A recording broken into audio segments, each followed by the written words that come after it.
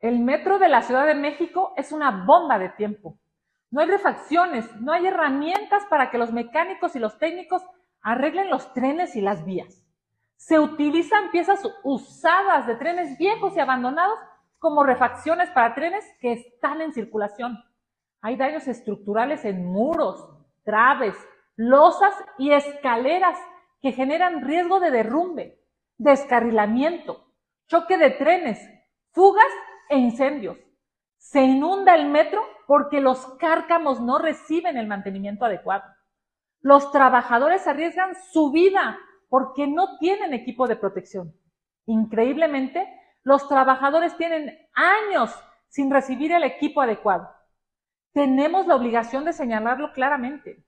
La señora Sheinbaum será la responsable de lo que le ocurra a los usuarios y a los trabajadores del metro de la Ciudad de México. Ella está obligada legal, pero sobre todo moralmente a evitar las tragedias. Ella juró cumplir con la ley, juró proteger a la ciudad y las venas de la ciudad están en riesgo permanente.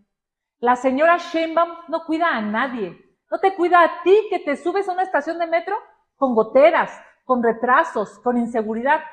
No te cuida cuando todo el tiempo está el riesgo de sufrir un incendio o un derrumbe, como lo hemos visto ya.